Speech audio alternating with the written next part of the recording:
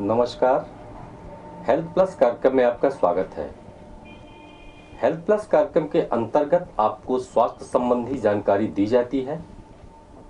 आज, सदी के सबसे खतरनाक रोग एड्स और कहा जाए तो सदी की आतंक पैदा करने वाली रोग एड्स के संबंध में विस्तृत जानकारी देने के लिए हमारे बीच में उपस्थित हैं। होम्योपैथ के जाने माने चिकित्सक पूर्वांचल गौरव और चिकित्सा गौरव जैसे सम्मान से सम्मानित चिकित्सक डॉक्टर रामरतन बनर्जी जी। डॉक्टर बनर्जी आपका स्टूडियो में स्वागत है। धन्यवाद संजय जी। आपका बहुत बहुत धन्यवाद। साथ ही साथ हमारे प्रिय दर्शकों को भी हमारा प्यार भरा नमस्कार। डॉक्टर साहब आपसे एड्स पे चर्चा हो इसके पहले मैं आपको बधाई देना चाहता हूँ, क्योंकि हमको जानकारी मिली है कि भारतवर्ष की होम्योपैथिक चिकित्सकों की सबसे बड़ी संस्था, होम्यो फ्रेंड्स ने आपको लाइफ टाइम अचीवमेंट के सम्मान से नवाजने का निश्चय किया है।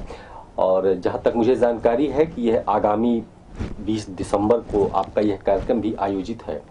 इसके पूर्व भी बहुत सारी संस्थाओं ने आपको पूर्वांचल गौरव, चिकित्सा गौरव, पर्यावरण मित्र और अभी होम्यो फ्रेंड्स ने भी आपको सन 2007 में लिविंग लिजेंट ऑफ़ होम्योपैथ के सम्मान से नवाजा। डॉक्टर साहब, इतने सारे सम्मानों के साथ आप इतने सारे मरीजों को देखते हैं। उसमें आप अपने जीवन को किस तरह से देखते हैं? क्योंकि आप एक ऐसे व्यक्ति के रूप में हैं जिन्होंने होम्योपैथ की चिकित्सा क्षेत्र में गोरखपुर का बहुत नाम रोशन किया है। मैं चिकित्सक हूँ। मेरा कार्य और मेरा धर्म दोनों ही सेवा है। आपने अपने कार्य में सफलता मिलने से प्रसन्न होना मनुष्य का स्वभाव है। मेरी सबसे बड़ी प्रसन्नता तब होती है जब एकदम से निराश रोगी चारों तरफ़ से भटकता हुआ मेरे पास आता है और मेरी सेवाओं से पूर्ण रूप से स्वस्थ होकर मुझसे विदा लेता है।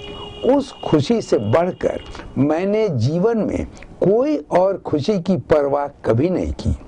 यही हमारी पूजा है, यही हमारी तपस्या है।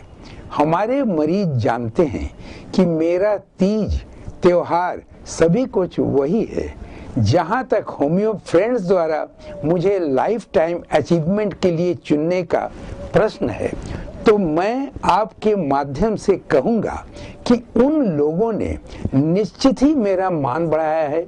मैं उनका भी शुक्रगुजार हूँ। डॉक्टर साहब, आपने समय को पहचाना तो समय ने आपका सम्मान किया और ये हमारे सभी दर्शकों को भी ऐसा करना चाहिए, वो किसी भी क्षेत्र के हों, उनको अपने क्षेत्र में समय की पहचान करनी चाहिए। डॉक्टर साहब, बात करते हैं एड्स पर। जैसा कि हमारे दर्शक भी जानते हैं, एड्स मानव सभ्यता को झकझोर देने वाली बीमारी के रूप में हमारे सामने आई है। और 80 के दशक में पहली बार एड्स का नाम आता है। और एड्स आजकल तो कंपटीशन का सवाल बन गया है। एड्स एड्स का जो भी वो जो उसका फुल फॉर्म होता है, वो एड्स हमारा जो है वो कंपटीशन का सवाल हो चुका है। तो एड्स के बारे में बहुत सारी भ्रांतियाँ हमारे समाज में मौजूद हैं। और इन भ्रांतियों के कारण एड्स ने आदमी को आतंकित कर रखा है। इन भ्रांतियों को मैं चाहूँगा कि आज दर्शकों के एक प्रतिनिधि के रूप में मैं उन सभी भ्रांतियों को आपसे पूछ लूँ और आप